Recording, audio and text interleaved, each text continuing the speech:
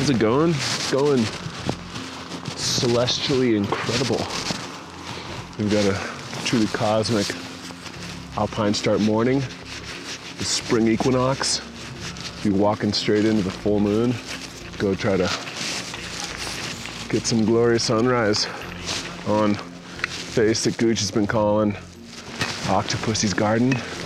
You know, getting up wasn't the hard part. Getting my liners in my boots, that was the hard part. Coffee helps. Could have a pretty big day ahead of us. Yeah, a lot of uncertainty, so figured we get an early start. Everything with camping is just makes it so much harder with winter camping. Everything that you do is just a little bit more complicated, whether it's getting the microphones ready in the morning, whether it's keeping batteries warm, everything is just more complicated and thought out. And if you don't think that process out, it really messes up your whole day.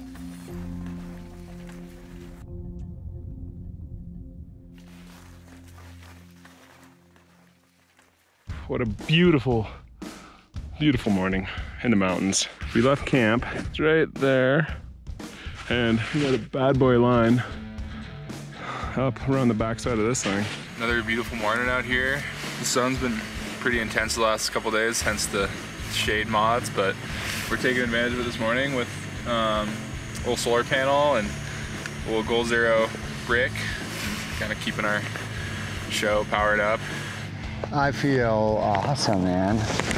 Had a nice dark start. It was so bright.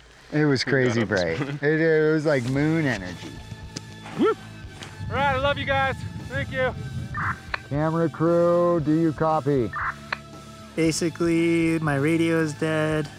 Nobody else's radios are working. It's not going. Communications are at all-time low. What the Three, two, one, Travis Rice dropping. Um, this one's for Tiffany.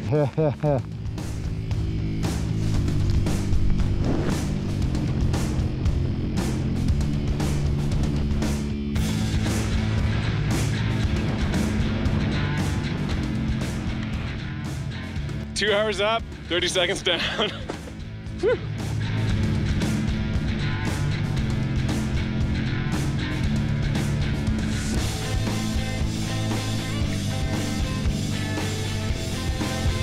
Yeah, that was fun.